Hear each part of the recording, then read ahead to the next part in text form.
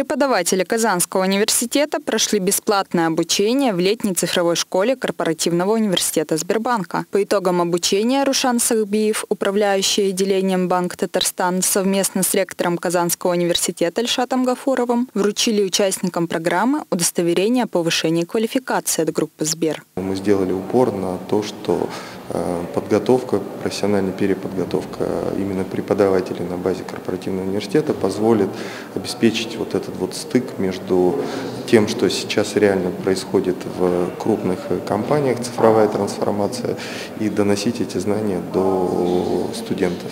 Обучение проходило в онлайн-формате, где преподаватели изучали теоретические основы и проходили практические занятия в IT. Все для того, чтобы наше образование и наши исследования сделать востребованными и прикладными, и чтобы э, наши студенты получали знания именно из первых рук, из разработчиков новой платформы Сбербанка, очень важно проведения таких мероприятий. Также на базе Казанского университета планируется создание лаборатории для студентов на основе курсов летней школы. Предполагаем несколько иной формат обучения. Вот тоже сегодня об этом мы говорили, о том, что у нас есть планы по созданию на базе Казанского федерального университета по подготовке специалистов для работы на платформе группы Сбер. После торжественной части вручения удостоверений Айрат Хасьянов, руководитель школы 21, провел лекцию об актуальных трендах в российском образовании. Кристина Надыршина, Фарид Захитаглы, Univer News.